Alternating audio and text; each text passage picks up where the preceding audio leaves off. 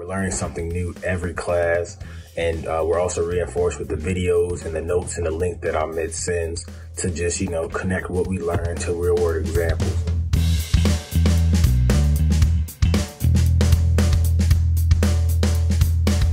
Hi, my name is Jerrin. I'm a student in the BA course. And so far with the direction of the class, I'm very pleased at the pace that we're going. Uh, we don't go too fast where it's like, all right, that's too much information. I'm not able to keep up. I'm, I'm scared of what's coming next. And it's also not too slow where it's like, you know, I'm not learning anything. I feel like I'm wasting my time. I feel like we're on a perfect pace where we use our time efficiently.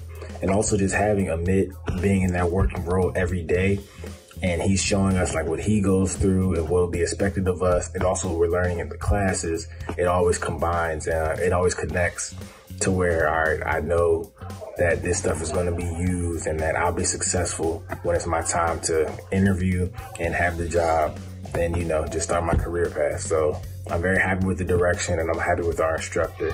Um, it's one of the best decisions I made being a part of this course.